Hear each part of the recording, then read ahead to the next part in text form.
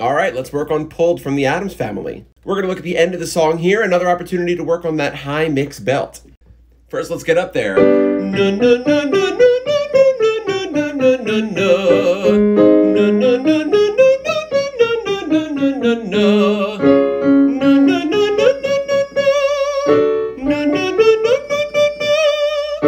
You're going to sustain on two, taboo, and new, but we're not going to use a new sound. You're going to use that uh vowel we just sang on a no, and then back to the uh on a direction. Sing through the lead in and the ending all on that neutral vowel. Na na na na na na na na na na na na na na and utilize that sustained cry for that belt quality. Pulled in a new direction.